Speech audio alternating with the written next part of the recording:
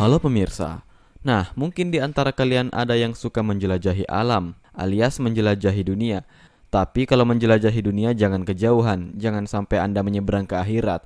Ya, banyak yang sudah menyeberang ke akhirat.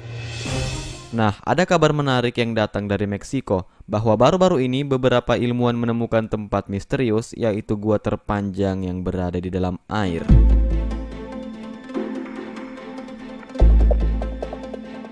Tidak hanya itu, tapi mereka si penjelajah ini menemukan artefak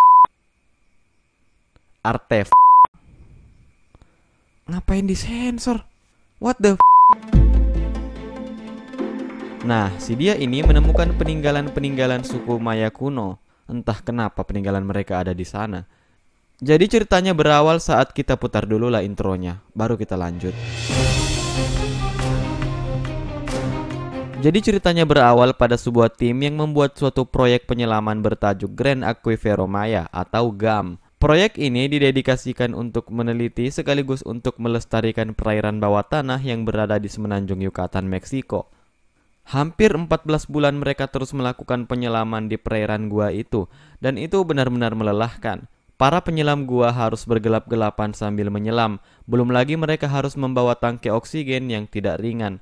Bahkan sebagian lagi lebih suka beternak lele. Ya, walaupun melelahkan, tapi itu menyenangkan bagi mereka yang hobi menjelajah, dan hal ini menjadi sebuah tantangan tersendiri untuk ditaklukkan. Tapi aku lebih suka beternak lele.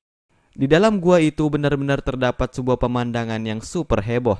Di dalamnya berbentuk seperti labirin raksasa yang terendam air.